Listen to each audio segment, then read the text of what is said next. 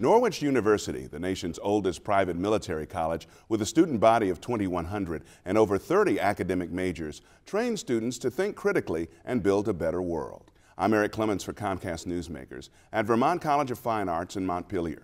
The president of Norwich University, Dr. Richard Schneider, joins Newsmakers now. Dr. Schneider, welcome to the program. Well, thanks to have me. Thanks All right, first things first, tell us what makes Norwich University unique? Norwich is only uh, one of six senior military colleges in America, and we're the only private one, and we're the oldest senior military college in America. So uh, we have been training cadets to be of service to America as commissioned officers since 1819. Wow, that is, that is quite unique in, in itself. Norwich's founder, Captain uh, Alden Partridge, was passionate about the citizen soldier model. Tell us, how does that inform the current student body today?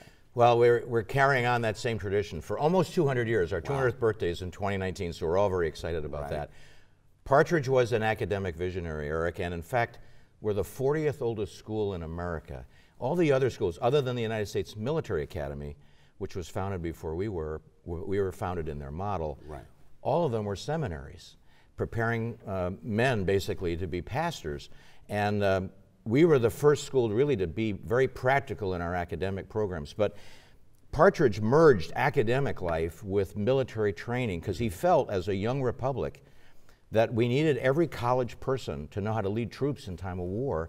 But when we were not fighting, we were supposed to be building the economy. So he was teaching things that we needed to build the economy. Okay.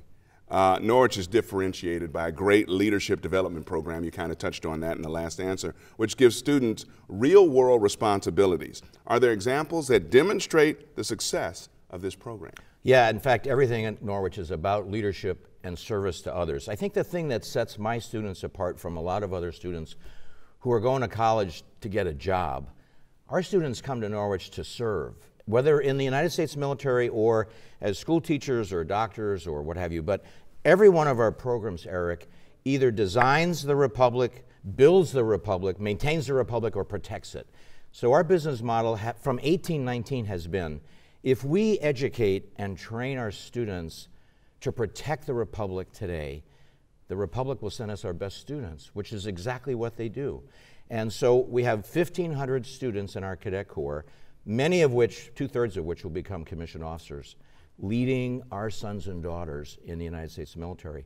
And 800 civilian students who want to be great doctors or mm-hmm. lawyers or um, teachers, coaches, uh, cybersecurity people, all those elements make and defend our republic. Great. Uh, there's also an emphasis you touched on a little bit of service to others before self. Why is that philosophy so important? Well, it's always been a hallmark of the United States military that we are serving other people, not only our own people in the Republic, but when I was in Vietnam, for example, you know, we were also, in addition to defending people and and fighting, we were rebuilding communities and hospitals and schools and things like that. Making the student understand that there's something much bigger out there that they can accomplish, not for themselves, but for others. That has been a hallmark of Norwich, and that's also a hallmark of the United States military. You touched on this a little bit earlier. Talk about a little more in depth about what sets Norwich University apart academically from most other schools. Well, we're, we are a university, a full service university, but we have a small college feel, Eric.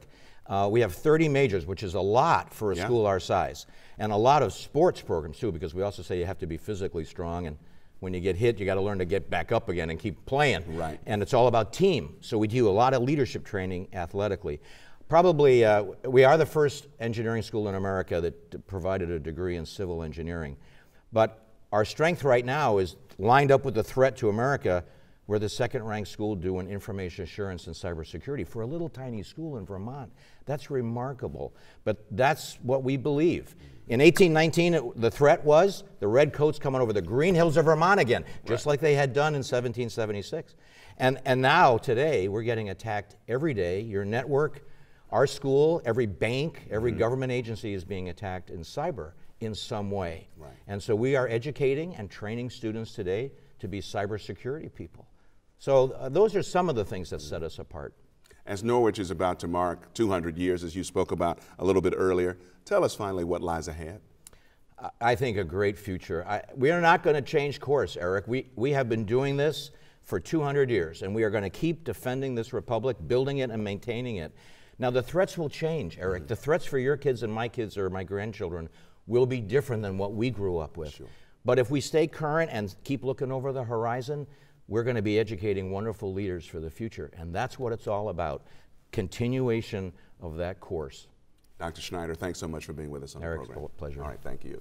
And thank you for watching this edition of Comcast Newsmakers. I'm Eric Clemens. We'll see you next time.